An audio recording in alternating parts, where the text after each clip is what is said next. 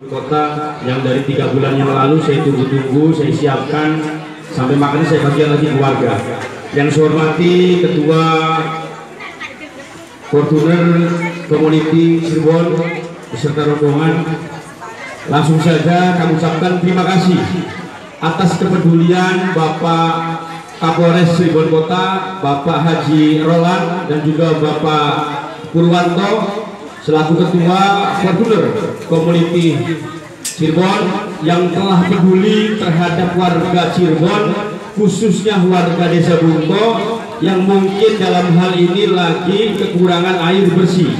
Kalau dibilang air sebanyak pak tapi air laut asin karena masyarakat kami membutuhkan air bersih insya Allah. Atas kemudian Pak Kapolres Cirebon Kota Pak Jirolan dan juga Pak Purwanto Fortuna Community Club apa yang telah diberikan insya Allah membawa keberkahan dan barokah bagi Pak Kapolres semua yang pastinya mohon doanya semoga Pak Kapolres cepat untuk jadi jenderal muda. Amin